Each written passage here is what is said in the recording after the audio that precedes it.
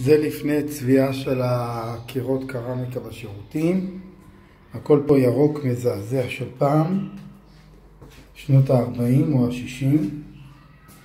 זהו, מצבע ירוק, אני אהפוך את זה לצבע לבן מבריק, שימו לב לפני, ועוד מעט תראו אחרי. אחלה, תודה.